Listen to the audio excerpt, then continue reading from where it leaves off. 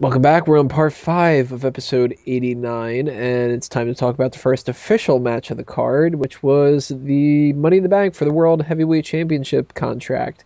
They never really did give this another name, did it? Like the All Stars one. Nope. Nope. Maybe we should just call it everybody else, like we were saying. Uh, Mid card in the bank. Yeah. so uh, this was, of course, Wade Barrett, Cody Rhodes, or Bodie Bodes, as we uh, talked about earlier.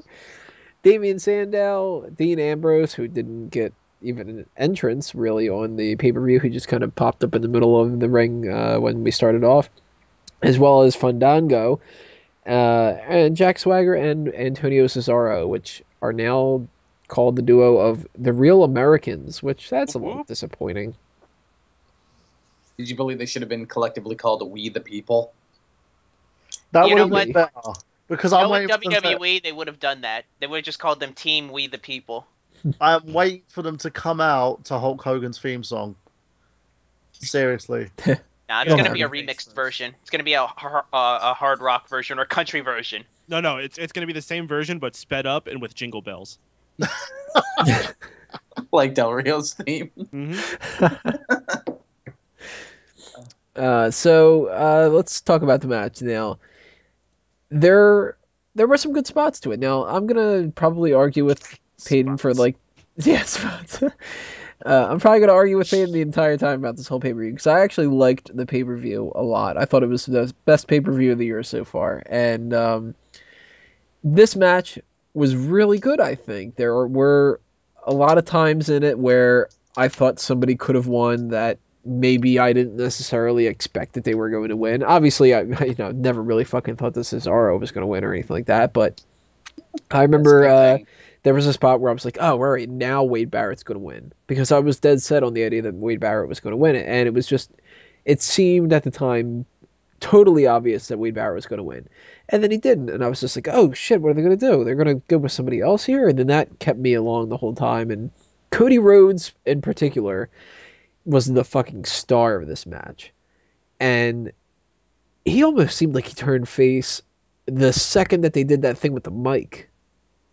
Like the crowd ate it up, having him uh, act kind of like a babyface in this, and uh, they were really kind of rooting for him in a match that's all heels.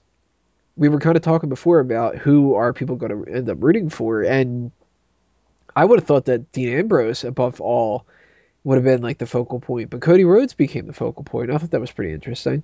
I Mainly loved be- Cody in this match. I loved him in this match, and the whole him getting you know sort of um, juiced up by the crowd, his adrenaline. He was he was every moment he had, especially those near falls as well. You know when the Shield came in and Cody was cleaning house, it was amazing. I forgot about Sandow. I totally forgot about the guy, and then Cody just goes boom, ends up falling off the ladder, and Sandow captures the freaking MITB case. I went nuts. It was awesome. I thought this match, in my opinion, stole the show. Yeah, it was certainly my favorite of the two Money in the Banks. That's for sure. Um, but are we real like the, spots Tony was talking about? Let's not skip over them. How about uh, even though he didn't really get it the first time, Ambrose skinning the cat on a ladder? I don't think I've ever seen that before. That was that was different. That was a little weird though. It was a little weird, but I'm just saying that's something we haven't necessarily seen in Money in the Bank By, before. by a little weird, you mean a little botched? yeah, yeah. Well, I It's said he not quality make it the punches on the time. internet, darling. Here, No, Yeah. it, it was definitely botched, and But, um, you know, uh, it, it looked awkward because of that. It would have been weird even if he wouldn't have botched it though, because it was just like, Who skins the cat on a ladder, basically? like what would have been the point of it was uh Swagger and Cesaro, right? hmm What would have been the point of them holding the ladder up and watching him try to grab the briefcase? Um, he is not an- anywhere thing. near as stupid as Jack Swagger openly volunteering Antonio Cesaro to climb up onto his shoulders and take the briefcase. You're handing your teammate a world championship opportunity that you could be getting. I know. I sat Fucking there. I looked at that and I was just like, "You're really gonna go with that? Uh, That's what you're gonna do?" I mean, Are it is you- swagger, but still, like, He must have been high that day. uh, No, I thought that uh, you know, pretty much top to bottom that this was pretty interesting. Um, uh, one thing that you know, it's not really a huge deal or whatever like that, but uh, Cody Rhodes hit that muscle buster on uh, Cesaro, and everybody watching the pay per view with me, you know, Urban, Dace, and all.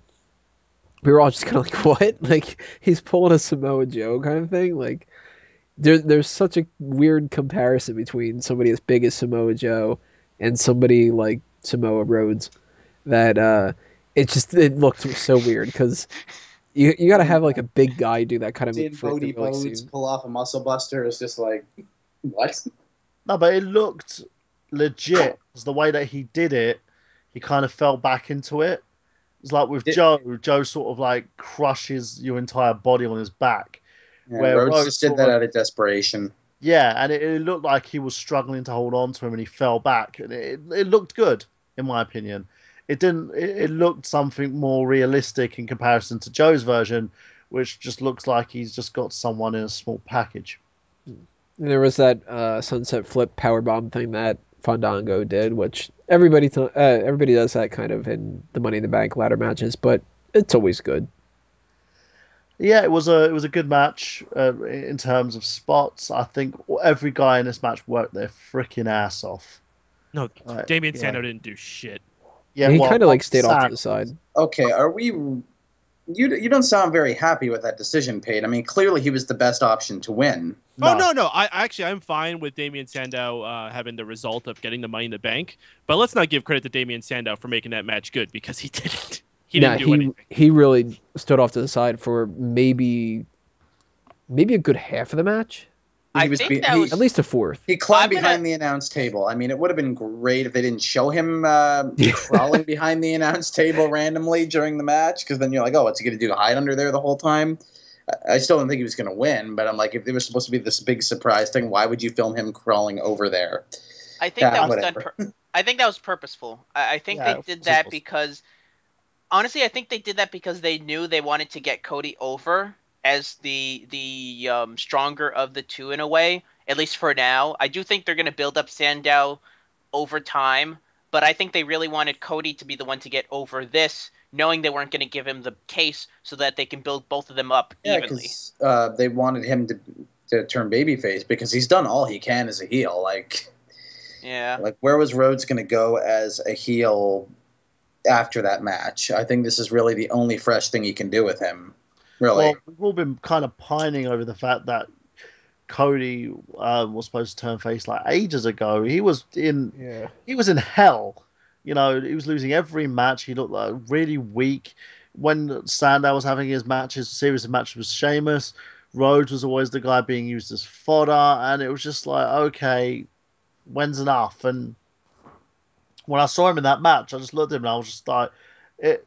It's like falling out of love with someone and and just falling back into love with them again because you find out what makes them so special. It's probably He the was- strongest booking he's had in like half a year in Yeah. one match. Um, and I think what they need to do from this now is they've got to keep the booking going, keep the match going, keep these two um, after each other. Hopefully, just keep making Sandow to be the sniveling little idiot that he is, and and have Cody chase because one weak moment for Cody if he gets uh, a situation where he ends up getting defeated in a match by a bigger name, it's just gonna totally destroy everything they've been building towards. So I'm, I'm hoping they keep it strong. But There's as three three other as- things I wanted to talk about in this match. Uh, one of them was the fact that the Shield and uh, the Usos became a part of it, which. Well, as soon as the Shield came in, I was sitting there going, "No, no, like don't fucking." The last thing I would I would rather have seen even Fandango win and lose, like Peyton had been suggesting, than for them to give Dean Ambrose the briefcase because the Shield came out. And I was really just like, "Don't fucking do that." But when the Usos came out, it was like, oh, good. Now you're not only killing that, but you're also making the Usos look a little bit more popular in the process. So that was a really good idea. And then, of course, knocking Ambrose off the ladder and making him fall on top of the tag teams. Yeah, it's always a fun spot. I just absolutely, didn't think they were needed in this match, but I can understand why they put them in there. It was it was one of those things where it was just like, okay, they haven't really got a proper spot on the card. Who, the. Shield? Yeah, Well, Let- it would have been the elephant in the room if they didn't show up. I mean, it's a no disqualification match, and one of their members is going for a world title opportunity. Why the hell wouldn't they show up Right. and interfere? That's it. That's just how I see it. But I get your point too, Burhan, where it's like, yeah, they were kind of on the YouTube kickoff. yeah. It, it was sort of one of those things where I think the WWE felt, well, the booking, the guys whoever booked the match probably felt, okay, we need to give these guys um, a chance, you know, to to shine at the pay per view because we kind of messed them about a little bit by giving them the kickoff show because of you know what's happened, and then they just pushed it forward. So it's it's still um, it was a good idea, but they weren't needed. And two other things that I thought were pretty funny. One of them was just a complete uh, screw up on my part, but uh, there was an environment where a lot of people were kind of like hitting the ladder and knocking somebody down and all that other kind of stuff. And there was one shot in particular where Swagger was climbing up the ladder, and Wade Barrett pulls down his uh, arm strap, and he looks like he's going to give the bullhammer to the fucking ladder as opposed to Wade uh, to Jack Swagger himself.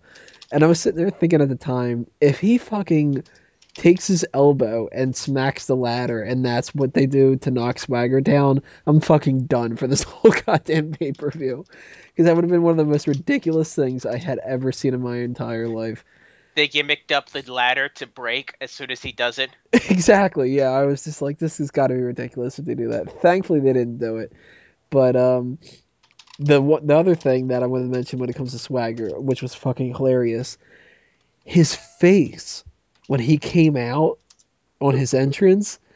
Anybody who wants to go back and watch this pay per view, that is your like number one fucking highlight as far as I'm concerned, because he looked baked out of his mind and confused as all hell. His eyes are slimer. bulged out, and he's just got this droned like, I have no idea where I am kind of look at his face. It's fucking hilarious. Swagger usually looks like a tool, though, so Well, this one was day. like beyond what I've ever seen Swagger look like. He looked like somebody had just like like a fucking ghost popped up, and he was just kind of in shock or something. Did he just looked like that the entire time? Oh my goodness. That's why he, yeah, as you said, that's why he must have been helping Cesaro out Maybe because he by giving him uh, shoulder lifts and giving him, trying to give him free world title opportunities that he should be competing for. he spent a little too much time backstage with RVD. Now, uh, one note I have to say here is, uh, unlike maybe I don't know how many people picked Wade Barrett to win, but uh, yeah, just like I said last week, that certainly wasn't going to happen because of his nationality. We all know that the company, specifically Vince McMahon, does not like uh, people from Britain. That's uh, fairly obvious at this point in his career. His career's dead in the water. I don't think they're ever really going to do anything with him. So it came no surprise to me that, like usual, he gets fucked out of any sort of elevation. But the greatest person they could have had win this match, somebody who's been doing uh, pretty much just a little bit less, or, the same as Cody Rhodes, maybe a little more. Damien Sandow is finally given his due and actually is being given something decent uh, right now. But now, as anybody knows, he's got the Money in the Bank briefcase, so we can all say he's going to be jobbing or whatever. But hopefully, this is a sign of a turnaround for his career. He's been going against tons of funk for far too long now. Yeah, how is this do exactly? I mean, what has Damien Sandow been doing these last few being years? being talented and entertaining. He's Against in who? T- Just himself.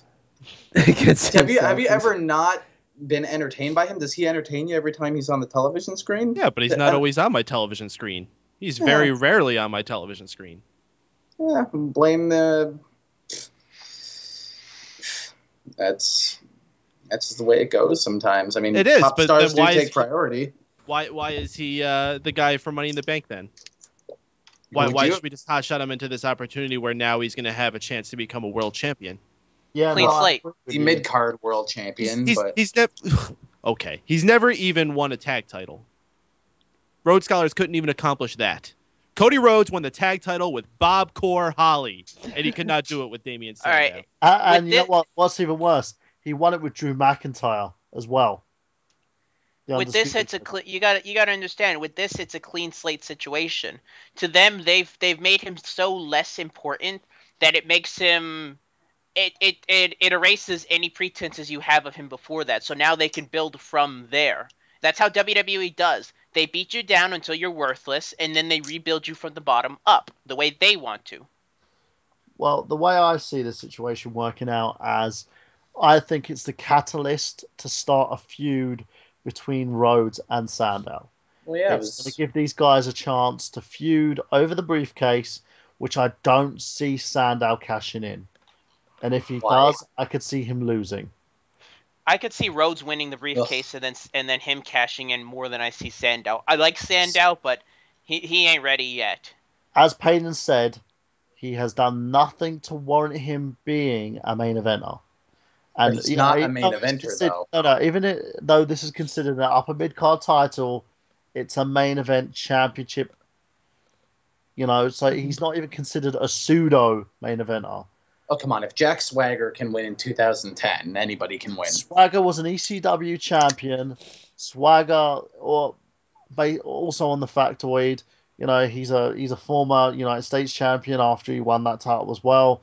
And they had this whole freaking thing about having former ECW champions winning the world title afterwards anyway.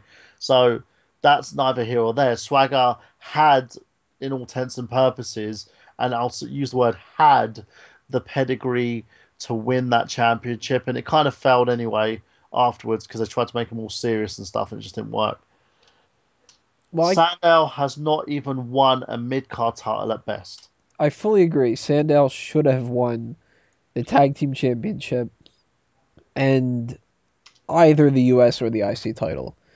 Um, and I would put him behind Cody and Barrett as far as the people that I would would have wanted to win this. At the same time, you know, on the optimistic side, what the hell? I mean, I like Damien Sandow.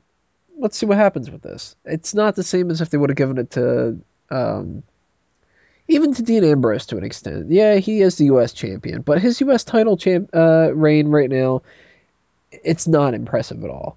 Even I said he wasn't ready though, Tony. Even I Right. said that Ambrose isn't ready to be to go to that level yet. Mm. Uh, and the problem people tend to keep thinking about is, oh, it's only the World Heavyweight Championship. It's still the World Heavyweight Championship. Yeah, it shouldn't have any kind of only in front of it. They should be Yeah. booking it as if it's equal or just slightly below the WWE Championship. So they Which is shouldn't what- really hotshot it to somebody like Damien Sandow. So I They're hope not. that I hope that what they do is they really drag this out. I mean, if Yeah. Sandow's going to keep the the Money in the Bank, don't let him cash it in until the next Money in the Bank. Give him a Well- mid card championship run in the process. There you go. You do a Rob Van Dam with him. You give him the mid card title while he's holding the briefcase. Yeah, he You should know, have a uh, an Edge Ziggler long run with the briefcase. Like hold it for a while before you cash in, like a long time. Yeah. And Like, again, let's say he needs to cash in immediately. You have it for a whole year.